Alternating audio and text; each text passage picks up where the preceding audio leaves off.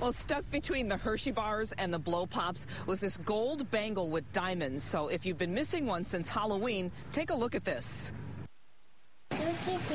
Little Nessia Thomas was Dora the Explorer when she went trick or treating with her brother, cousins, and father. But who knew she would turn out to be a little detective? She was holding the bracelet, so I asked her where did she get it, and she said it's from the pumpkin.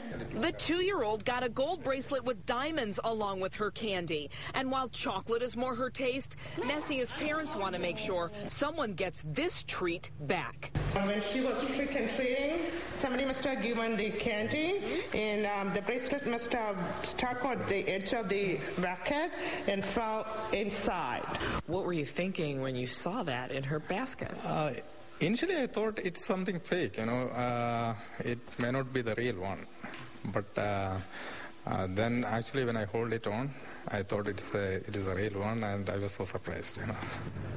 Like a lot of parents, they put Nessia's candy away for a few days so that she didn't eat it all. So it wasn't until a couple days ago when she dumped it all on the ground that she saw the bracelet was in there. So if anybody thinks that it's their bracelet, please, uh, we'll give you that phone number. It's uh, 249 1370. That's 248 249 1370.